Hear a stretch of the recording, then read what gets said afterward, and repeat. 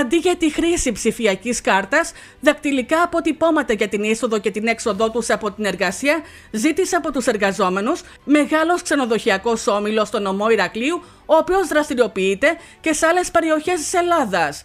Η απαράδεκτη αυτή πρακτική που παραβιάζει τα ατομικά δικαιώματα προκάλεσε θύελα αντιδράσεων στις τάξεις των εργαζομένων, οι οποίοι προχώρησαν σε καταγγελίες στο Σωματείο Ξενοδοχοϊπαλλήλων. Ο συγκεκριμένος όμιλος προσπαθεί με βιομετρικά δεδομένα να ταυτοποιήσει τους, την παρουσία των εργαζομένων. Όταν λέμε βιομετρικά δεδομένα είναι το δακτυλικό αποτύπωμα, είναι η ήρδα του ματιού. Ε, εμείς έχουμε την πληροφορία λοιπόν ότι προσπαθεί με δακτυλικό αποτύπωμα. Αυτό απαγορεύεται σύμφωνα με το Γενικό Κανονισμό Προσωπικών Δεδομένων. Βεβαίως υπήρξαν αρκετές καταγγελίες από το συγκεκριμένο όμιλο, γι' αυτό και εμείς ενδιαφερθήκαμε ούτως ώστε να σταματήσει αυτή η διαδικασία να προστατεύσουμε τις ατομικές ελευθερίες των εργαζομένων και βεβαίως το δακτυλικό αποτύπωμα σιγά σιγά θα φτάσουν να μας ζητούν και DNA. Ε, είναι απαράδεκτο, είναι προσκρούει στα δικαιώματά μας και δεν πρόκειται να γίνει αποδεκτό και παραδεκτό. Το γεγονός καταδίκασε από το Ηράκλειο και ο πρόεδρος ΓΕΣΕΕ Γιάννης Παναγόπουλος, ο οποίος αναφέρθηκε και σε άλλες απαράδεκτες τακτικές εργοδοτών σε βάρος των εργαζομένων σε επίπεδο χώρας. Η ψηφιακή κάρτα είναι μια πρόοδος στο να μπορέσουμε να χτυπήσουμε την αδήλωτη, την υποδηλωμένη, την, ψευ, την ψευδός δηλωμένη εργασία που αποτελεί άθλημα των εργοδοτών.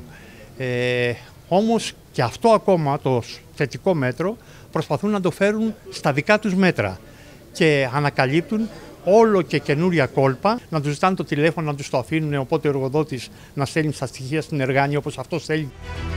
Και όλα αυτά συμβαίνουν έναν μήνα μετά το σάλο που προκλήθηκε.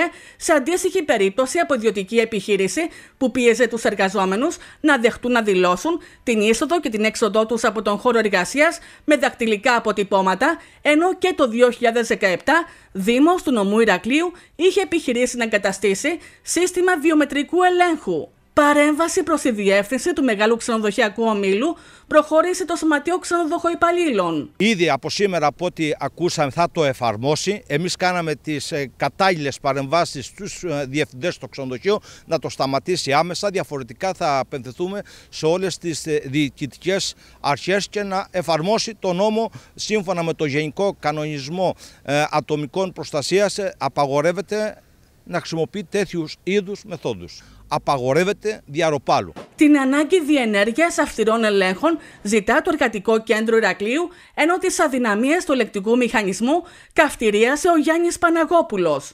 Η ασύντοσία είναι δεδομένη και δεν ζούμε σε κοινωνία αγγέλων. Εμείς θέλουμε θεσμικές ρυθμίσεις, θέλουμε ελεγκτικούς μηχανισμούς. Δυστυχώς αυτά δεν πάνε καθόλου καλά. Με, τους, με τις δραστηριότητες και τις αγώνες μας προσπαθούμε να τα ξαναφέρουμε στην επιφάνεια και κυρίως στην επιθεώρηση εργασίας που με το πρόσχημα που την έκαναν ανεξάρτητη αρχή είναι ανύπαρκτη και αδύναμη. Εμείς σαν εργατικό κέντρο ήδη προετοιμαζόμαστε ε, για την απεργιακή κινητοποίηση που πρέπει να είναι μεγαλειώδης να περάσουμε ένα ισχυρό μήνυμα προς πάσα κατεύθυνση.